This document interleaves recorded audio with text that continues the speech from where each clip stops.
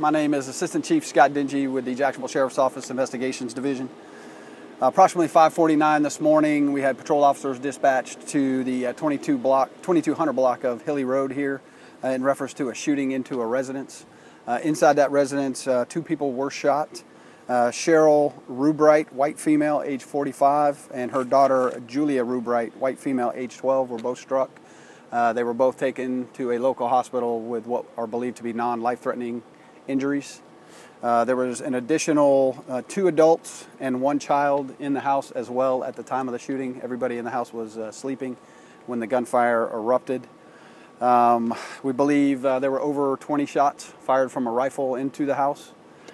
Um, we do not know the suspects at this point, the number of suspects, or anything about the suspects, other than we do believe uh, uh, we have a possibility of a vehicle seen fleeing the scene uh, it would be a dark colored small vehicle, two doors, uh, with a loud customized type muffler. Um, we would encourage anyone with any kind of information to contact the Sheriff's Office at 630 0500 or call in anonymously through Crime Stoppers at 1 866 845 TIPS. Um, at this point, we don't have an exact motive, but we, we do have indications that it might be drug related at, at some, in some manner. In some manner. Um, and I can take any questions that you have. Chief, uh, mentioned drug related, but I mean, I'm guessing it's almost targeted. Yeah, the house the house was definitely targeted.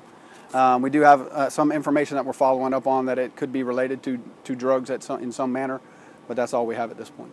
Any idea what type of weapon was used, uh, handgun uh, or rifle? We do. It was a rifle, but I'm not going to say anything more about the type of rifle. We heard that the 12 year old girl was in surgery.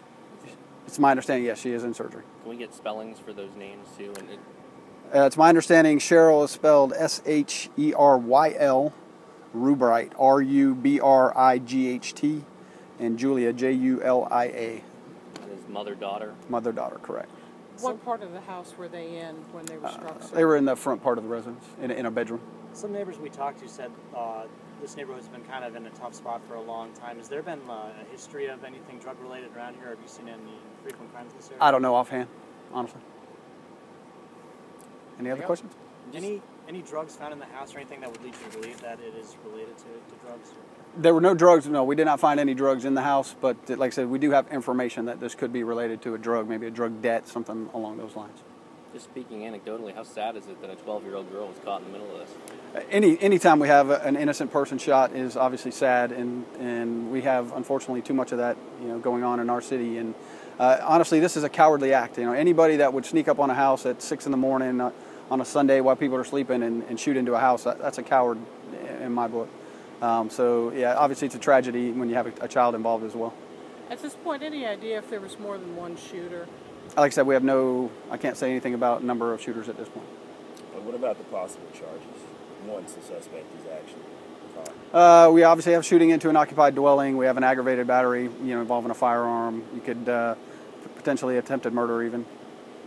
Who were the other uh, three people in the house? Did you say again? You said it.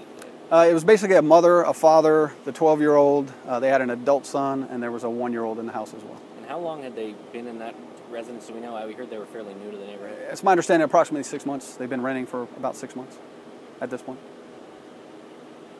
Thank you, Chief. Thank you. Thank you. Thanks for coming.